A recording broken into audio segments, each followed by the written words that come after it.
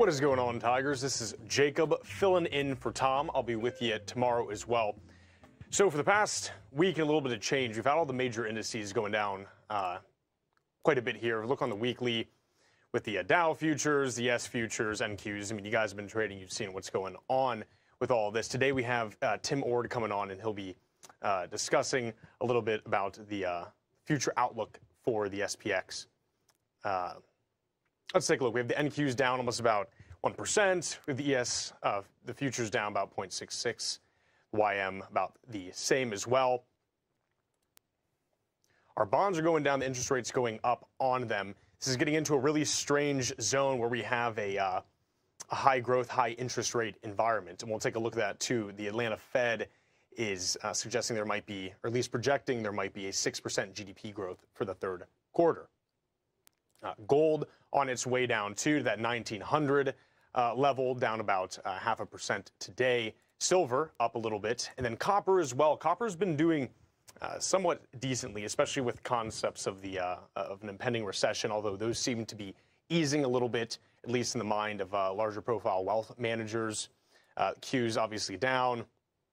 SPY Tesla down 2.2%, Meta down 2.28, Google up um, really about flat. Disney, this has been such a shame, um, mainly because I was an investor in them. Uh, but th- they've gotten slaughtered with everything going on. I know uh, DeSantis was asking for them to kind of stop um, pushing back uh, against his change on their, uh, what do they have? Basically, the special privileges that they possess for such a long time. He said they're not coming back. Uh, furthermore, they closed the Star Wars overnight kind of uh, project that they had. It was very expensive. A lot of the times when you see some of these larger companies, you know, leaning out a little bit, when they cut different features or experiences, the market tends to really like that. We see that with Meta as well. Um, it seems like I was just talking about this in the office maybe last week. Um, you know, when they cut plans for the metaverse, their stock skyrocketed. They just cut something recently where they um, ha- had some AI essentially uh, with different medical compounds, and they cut that as well. Uh, and the uh, stock skyrocketed again because the idea is, you know, you're freeing up cash to do more things. And for whatever reason, and a lot of this might be political as well, uh, Disney, even though they're cutting some of their expenditures, uh, kind of continue to go down a little bit.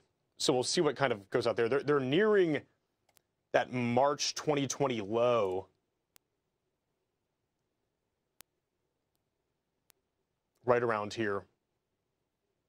So, I mean, that's pretty significant as well. I mean, so that's down from pre COVID levels that they're trading at currently.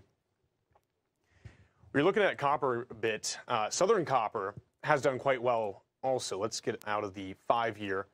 We just take a look at this on a year to date.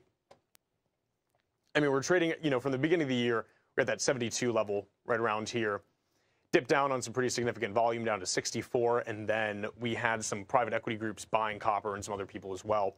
Remember, uh, maybe a month ago when I was on the show, was talking about the potential for copper uh, to go up to prices like this, um, or at least some certain companies, as uh, it's getting a little bit more difficult to find it, and uh, it's in greater demand as time goes on. Of course, we get a little bit of retest on the last day with volume here.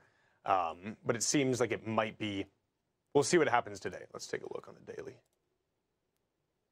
Yeah, we're so down on you know trading sideways on some volume. We'll see how Southern Copper pans out. But it was an interesting buy, and if you got in around that time about a month ago, not a bad uh, purchase. Steel Dynamics. I've been watching this um, very closely. That's not what I want to look at. It was constantly testing these levels. These were the high volume levels. Obviously, it broke down a little bit and kind of traversed down to the 90 mark. They came right back, again, on high volume, rejecting this area here, and just trading into this bounds of 100 and 110. Usually, when you have a stock that's testing these high volume kind of bottoms and it rejects it on low volume, that might be setting up for a movement down.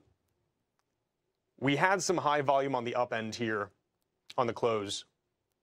So we'll see if it really wants to test this 110. If we can break through with some decent volume, we might be kind of making a new little zone to be trading into. Hawaiian Electric.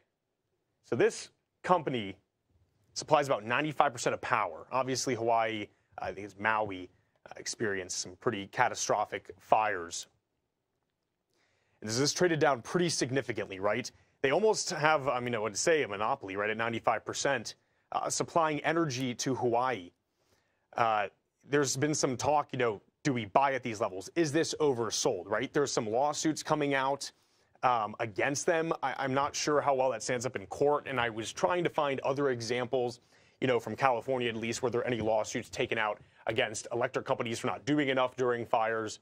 I was not really able to find much data. What I did find is some of the larger electric uh, companies in California, it took about 11 months for them to really reach the true bottom uh, from, you know, the, the pre-fire uh, kind of price. And so, you know, this is obviously an insane sell-off. Just today, you had a 23% decrease uh, down from this massive gap. And what I would say to that, you know, is a new company going to come in and ever get a foothold when Hawaiian Electric had 95% dominance? Probably not, right?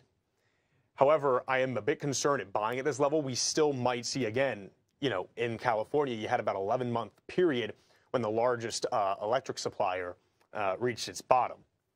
So buying at this point, you know, you might be still purchasing a falling knife here.